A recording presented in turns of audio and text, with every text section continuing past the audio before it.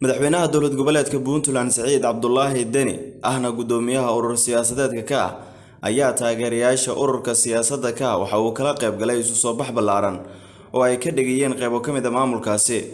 Madaxweynaha ayaa dadweynaha puntland ku baraarujiyey doorkooda ku aadan nidaamka dimuqraadiyadda puntland waxaana uu ugu baaqay in guryahooda ka soo baxaan shan iyo labaatanka oktoobar sanadkan aynu ku guda jirno si ay u caddeeyaan urur siyaasadeedka ka oo isugu hirgeliyey. Waxa ay doortaan iyagana dhankooda la dooran karo.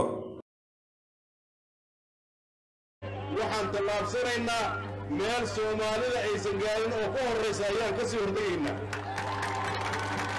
waxaa noo furmi doona mashaariicda waxaa abuurmi doona shaqo abuurka waxaan rajaynaynaa dhallinyarada iyo aqoon-yahanka inay fursado badan heli doonaan.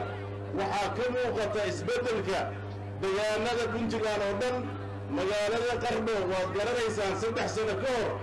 Dadku wuxuu ahaa niyad xumo dadku wuxuu ka baqaya amnigiisa. Gabdhuhu habeenkii ma socon karina moobeellada laga furan jiray. Dadka xabada aan macno lahayn baa dhici jiray. Maanta waad aragtaa meel kastaa la ysaga yimid. Magaalada qardho waxay gaartay in la yidhaahdo weyannigaan hurdo fiican ka soo qaadanayna iyo damaashaad nabadgeliyo iyo kala dambayn iyo ciidan u hoogan inay sugaan ammaankiinna horumarkaas wuxuu ku jiraa waa kaa aragtidaas cid leh oo kale ma jirto. Ururada kaleeto dadkay caayaan been bay sheegaan waxay qaban karin bay dadka u sheegaan. Waxaas wax shaqaynaya maaha. Annaga waxaad nagu imaanaysaan amni iyo ammaano iyo horumar. Dad aflagaadayn mayno hantida dadka dadka u dhici mayno cidna waxayna xaq u lahayn ma siinayno.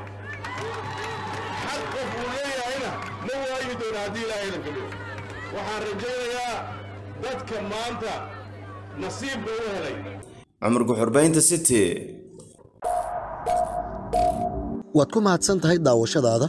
Inaad nagu soo biirto wax lacaga kaagama baxayso. Keliya waxaad u baahan tahay inaad falow saarto boggeenna facebook ama aad sabskraib dhahdo janaalkeenna youtube adigoo u bartilmaamaydsanaya city somaali t v an rediyo la jaanqaad warbaahinteenna oo hel warar iyo barnaamijyo adiga kaa hadlaya